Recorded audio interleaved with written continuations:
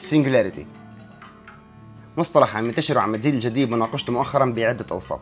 فكلامنا اليوم راح يحكي قصة singularity تكنولوجية. بس قبل ما ندخل فيها خلينا نشوف على السريع من وين إجت الكلمة لغويا الكلمة معناها المتفردة وتستخدم لوصف حدث غير اعتيادي ومتفرد ومتميز عن كل شيء غيره وما له نظير one of a kind.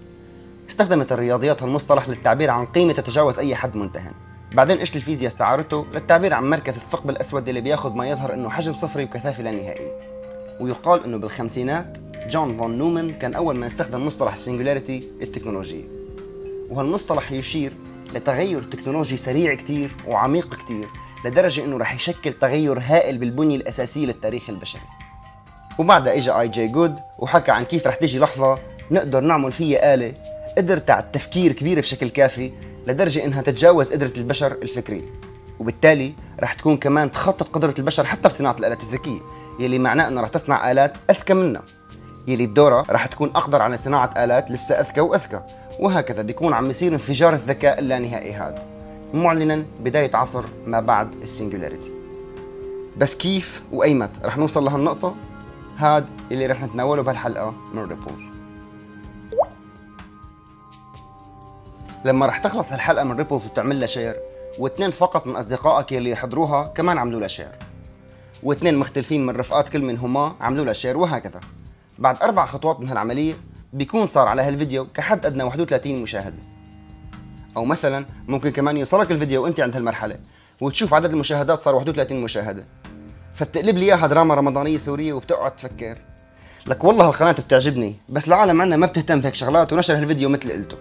وتقرر ما تنشر الفيديو وتكسر سلسلة النشر عندك. بس روقنا شوي خلينا نكمل كم خطوة لنشوف. إذا أنت ما كسرت السلسلة عندك وضلينا ماشيين على نفس الأساس لنوصل ل 14 خطوة بس بصير المجموع 32767 مشاهدة كحد أدنى. معقول بأربع خطوات كنا ب 31 مشاهدة وب 14 خطوة بنوصل لأكثر من 32 ألف؟ شايف هذا التساؤل وهالاستغراب يلي عندك حول هالكلام؟ هي هي ردة الفعل الأولى يلي من الطبيعي تتكون عنا نحن كبشر أول ما نتعامل مع التطور أو النمو الأسي ال exponential growth ويلي هو النمو عبر الضرب بقيمة ما بشكل متكرر. خلافا للنمو الخطي يلي بيتم عبر تكرار إضافة أو جمع قيمة ما. وببساطة الحدس أو ال common sense تبعنا بيتطور وبيتكون عبر التعامل مع الأشياء بحياتنا اليومية واللي أغلبها خاضع للنمو الخطي. هلا هو كان فيني اعطيك مثال تاني عن النمو الاسي مثل طي الورقة 42 مرة لتوصل على القمر وكذا بس قلت بحاول اذكرك بأهمية نشر الفيديوهات بطريقة تشيب شوي. ما علينا.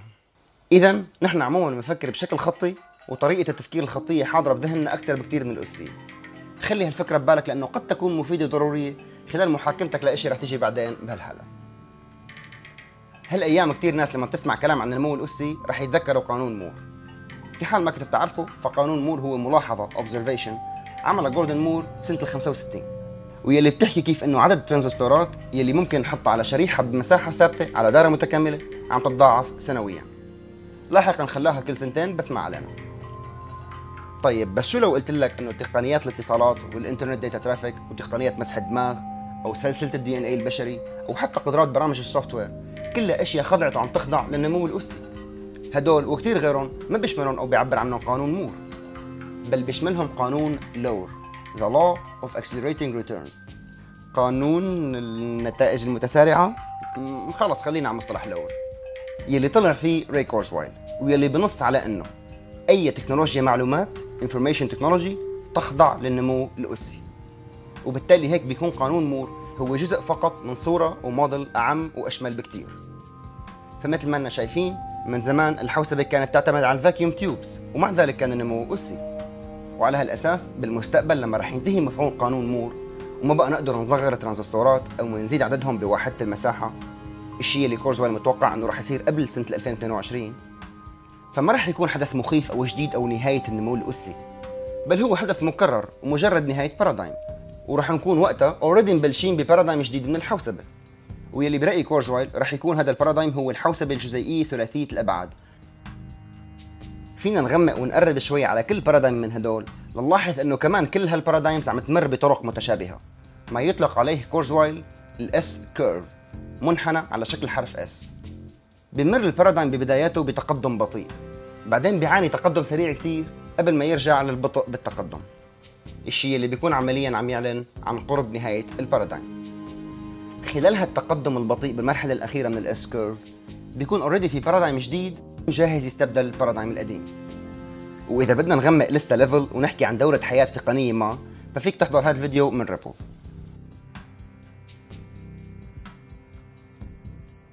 روي كورزويل اهتم بدراسة كل هالتفاصيل اللي حكينا عنها لأنه هو بالأساس مخترع inventor ولاحظ أنه من أهم أسرار نجاح product منتج معين هو أنه ينزل على السوق بالوقت المناسب. فكل ما كنت قادر تتوقع المستقبل التكنولوجي بدقة أكبر كل ما زاد احتمال نجاح اختراعك أكثر مثلا إذا كنت صافن بال 2008 وخطرت لك فكرة مشروع application لعدسة لاصقة ذكية مثلا ونويت تنزله بعد شي خمس سنين لبين ما يخلص معك شغله. فهذا مشروع فاشل لأنه بال 2013 أكيد ما كانت متوفرة المنصة الناضجة اللي بتسمح لك تخلق هيك منتج. فهي أهمية القدرة على توقع المستقبل التكنولوجي بالنسبة للمخترعين والمبدعين بالتكنولوجيا. فهذا كورزويل بناء على موديل النمو الاسي LOAR يلي شرحناه صار يعمل توقعات مستقبلية. بعد 10 سنين بعد 20 سنة كيف رح تكون التكنولوجيا وكيف رح يكون أثرها على العالم حوالينا؟ توقعاته كانت دائما تبدو كتير جريئة ومبالغ بها وصعبة التصديق كتير لحظة نشره إلها. وهو بيشوف سبب هالشيء إنه تفكيرنا مثل ما قلنا من شوي خطي. فنحن بنرفع سقف توقعاتنا على المدى القريب بسبب ضعف قدرتنا على إدراك أهمية بعض التفاصيل المهمة. لكن بننزل سقف التوقعات على المدى البعيد لأننا ما بنراعي النمو الاسي وما متعودين نفكر من خلاله. لكن الحلو إنه توقعاته حققت نسبة دقة مثيرة للإعجاب جدا. الشيء اللي خلاه حاليا يتاخذ بجدية أكثر بكثير من أيام كتبه الأولى من 25 سنة وهيك. من توقعاته الشهيرة والمحقة واللي كانت تعتبر مبالغة بيومتها هي انتصار كمبيوتر على أفضل لاعب شطرنج بالعالم قبل حلول عام 2000 الشيء اللي بالفعل حققه ديب بلو سنة 97 لما فاز على كاسباروف توقع آخر كثير شهير لكورزويل هو تاريخ اجتياز كمبيوتر لاختبار تيورينج يلي حكينا عنه بالتفصيل بهذا الفيديو. وعلى نفس الأساس إذا ضلينا لاحقين خط النمو الاسي للتكنولوجيا أخذين بعين الاعتبار تقدم قدرات الحوسبة إضافة لتفاعل عدة ثورات تكنولوجية مختلفة مع بعضها. بيتوقع كورزويل إن ال singularity رح تحل علينا سنة 2045 بهالنقطة رح يتغير كل شيء بحياة البشر. ورح أسرد لك هلأ بعض الأشياء اللي بتوصف كيف رح يكون العالم بعدها. معدل النمو الأسي للتكنولوجيا بحد ذاته رح ينمو اسيا. رح يكون عندنا فهم كامل لآلية عمل الدماغ البشري وقدرة على صناعة software بيحاكي بفعالية الذكاء البشري. أي مجموعة من الآلات رح تكون قادرة على دمج ذاكرتها وذكائها ومواردها مع بعضها وتتصرف كآلة وحدة وترجع تنفصل عن بعضها ايمت ما بدها. ذكاء الآلات ما رح يعاني من الحدود اللي فارضتها البيولوجيا على ذكائنا البشري ورح يضل مستمر بتطور الأسي. والآلات رح يكون عندها القدرة توصل للكود تبعها وتعدله وتحسن تصميمها الذاتي بدون تدخل بشري لتحسين أدائها وقدراتها. النانو تكنولوجي رح تتيح لنا القدرة على تغيير الواقع الفيزيائي على المستوى الجزيئي وال nanobots رح يكون لها عدة استخدامات. استخدامات بيئية مثلا مثل عكس أضرار التلوث البيئي واستخدامات صحية من أهمها عكس عملية الشيخوخة reversing human aging. ورح تكون كمان قادرة من خلال تفاعلها مع الخلايا العصبية أن توسع التجربة البشرية عن طريق تحقيق واقع افتراضي على مستوى الجهاز العصبي مثل ما حكينا بحلقة سحر الواقع الافتراضي والمعزز. مع اندماج الذكاء البيولوجي مع غير البيولوجي وكون الأخير رح يستمر بالنمو الاسي فبوقت ما كتير طويل رح يصير أغلب الذكاء البشري غير بيولوجي. في عالم ما بعد ال singularity ما رح يكون في فرق بين الواقع الافتراضي والفيزيائي وبين الإنسان والآلة الذكية.